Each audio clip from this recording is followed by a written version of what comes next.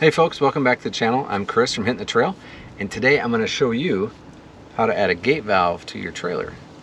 And that's Whatever Wednesday.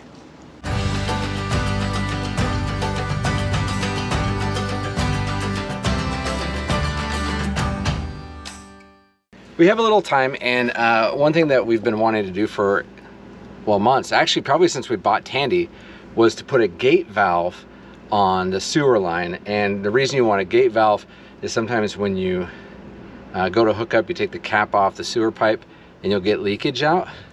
You don't really want that. And a gate valve at the end of your pipe will actually stop you from doing that, right? So if you're gonna add a new gate valve, this is the whole assembly, um, you have to change your habits and your, I guess, um, it's not habits. System.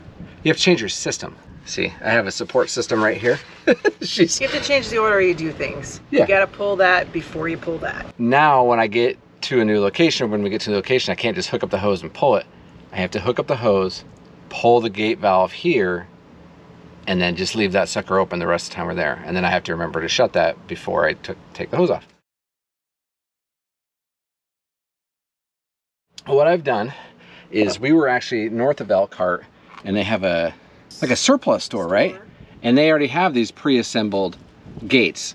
Uh, all I had to do was attach the cap part and we went and found the connector and before recording I actually cut off the pipe but all I used was just a saw a hand saw I've seen this done with a reciprocating saw and I asked the gentleman that I watched it's like oh man uh, how easy was that and he said actually I would never do it with a reciprocating saw again because it vibrated everything and he had to go back and reattach um, some of the supports, these pieces here, because the vibration was just, ah! so anyway, uh, I used the handsaw and it came off. It took me out about, I don't know, a minute and I was going kind of slow. So anyway, I'm cutting that off. Uh, I've sanded down the end of the pipe um, and I'm still waiting for, there's still a little bit of just water coming out and I'm drying that up because you want it completely dry before you go to attach it just to make sure that the adhesive works. Um, and then the next step is I'm going to be cleaning this with my Oatey clear cleaner. Why do you have to do that? Why do you clean the pipe? It actually makes the adhesive work better. What kind of adhesive do you have to use? This is medium black ABS cement from Oatey. How long do you have to wait after you put that on? Boy, she's really getting into me. She's got all these questions. okay, so what this says is you clean this off well, using this, clean the pipe clean using this. And then once, you, so you'll wait for that to dry and then you'll apply this. You'll stick on your attachment and hold it in and then do a quarter turn and then that's really it. So it'll um, hard cure. Let me read this. I just want to make sure I'm getting it to you right. Uh, I'm reading the wrong one. All right, so it says uh, allow 15 minutes for good handling strength and two hours cure time at temperatures above 60 degrees Fahrenheit. The other thing I am gonna do, even though, so we've dumped it, I dumped the black tank and then I dumped the kitchen and then I dumped the gray tank. I have rubber gloves and I've kind of gone in and dried out the pipe a little bit and then taken some disinfecting wipes and cleaned it out and then dry it out again and then I'm going to use that cleaner. So I just want to make sure that there's no fluid like right now I just saw there's a couple more drips coming nobody so. wants poo-poo hands. Yeah you don't want poo-poo hands. Again the first thing we're going to use is the clear cleaner. And we want everything ready because we don't want to wait a whole long in between so the first thing this is going to go on the inside of the pipe so you're just going to go around and then you're going to go on the outside of this one Basically anywhere where those two pipes are gonna touch, you wanna clean. The next step, we're gonna use our Oatey medium black ABS cement.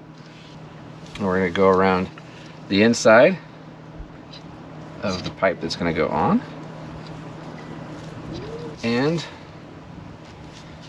the outside of the other pipe. Boy, that is stringy, huh? And then you're gonna stick it on And once you get it as far back as you can, you want to do a quarter turn.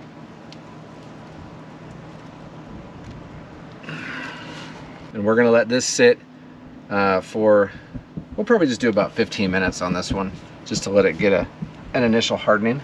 All right, so before you attach this, which I'm not gonna do right now because this is still drying, you need to think about where you want this angled and where it's gonna fit. I mean, if you have it go straight up and down, you gotta realize that your hand's gonna be here. So I'm gonna actually have ours angled down just like that. So when I put the pipe in, initially, I'm gonna put it about here. That way I can still turn it that quarter turn. I'm so excited. I'm so excited because you know what I've had to do recently?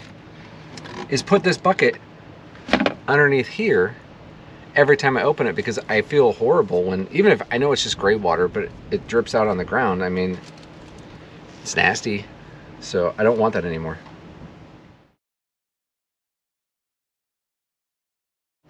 So we waited, everything's dried. So now we're gonna put the big piece on. So again, we're gonna clean the outside of the male piece and then clean the inside of the female piece. And then we're going to put our cement on.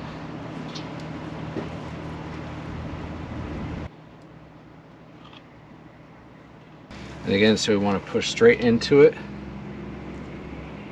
and then do the quarter turn. And then you want to position it where you actually want it, which I think for us looks like about there. So we'll be able to pull it. And now we're going to wait two hours before we actually test it. I want to make sure that we're to test it with gray water, not black water, just to make sure that there's no leaks. All right, so it's been two hours and now what we're gonna do is actually test to make sure that everything is sealed off so no leaks. So I've hooked up the hose, but the gate valve is actually closed and what I'm gonna do is I'm gonna pull uh, the gray tank and release a little bit of water and then shut it because I don't want it to backflow. Um, and then we're gonna see if anything leaks out.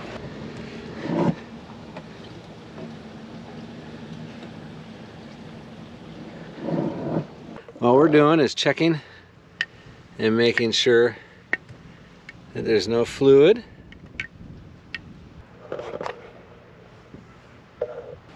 Okay, so now we're just gonna pull the gate valve and make sure that that works. I mean, it should, it's just a gate valve.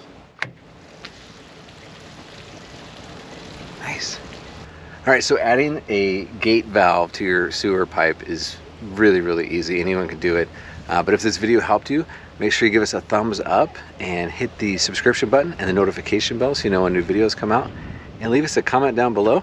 Let us know if there's something you like, didn't like, ideas that you have, or just say hi. And remember, life's an adventure. Hop on.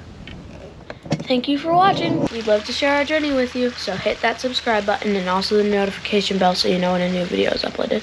And don't forget to leave your comments down below and hit the like button.